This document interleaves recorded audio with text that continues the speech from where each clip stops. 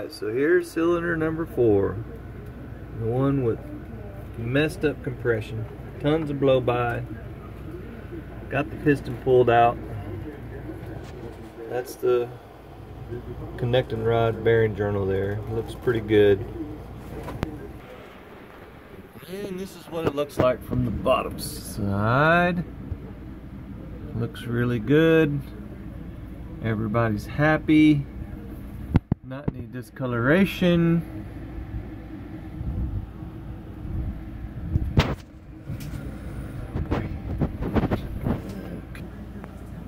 And that's what the main bearing cap cradle looks like.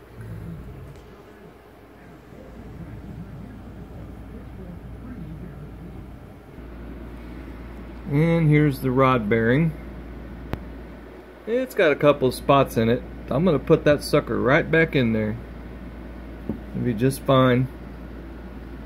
This is the side that goes into the rod here. And it's got a wipe on it. And it looks like it hit at one time or another. It hit. A little bit of an odd shape. Uh, it's probably starting and stopping. It's probably what did that. Other than that though, it looks in fine shape. No discoloration or anything funny going on. I pulled the um, piston out. Let's see, that's the driver's side. Arrow points to driver's side. There was a question about where the rings were lined up. They weren't that far off. I mean, they were probably like this. And the oil control ring gap was there. So I don't think it was set up very good as far as that's concerned. Um, I have no way to tell but just by squeezing the ring you know the level of tension. But just looking into the gr ring groove you know I don't see any really bad things going on there inside the groove or on the ring at all. As far as scoring excessive carbon buildup anything like that. It, it, it looks really good now this car has 216,000 miles on it. The oil control ring does have a little bit of goop in it, but it's not that bad. Really, it's this this looks really good. Here's the scuffing on the side of the piston. And that tells me it got hot and it had some trouble, so I'm not too worried about it. I'm going to replace the pistons I got it set from Engine Tech for about a hundred bucks or so with a set of rings. So it'll go together nicely and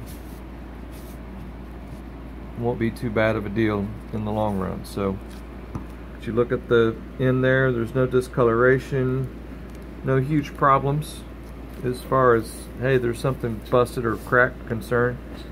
So uh, we're in good shape. It's got some really nice uh, rod bolts. And they're the funny 12 points. You got to use a like a 10 millimeter 12 point uh, socket.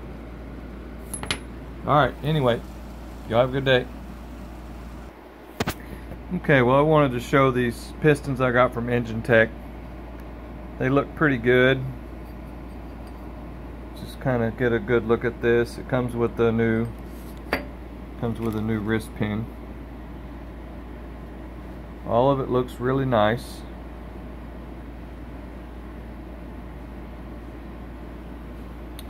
Uh, these are the ring set that comes with it. It's got some pre-lap rings, oil control rings. Box says made in USA, so hey, we can't argue with that. And I've used Engine Tech for lots of things, so lots of engine builds and things. It's it's good enough. It'll work. It'll be just fine. All right, take it easy.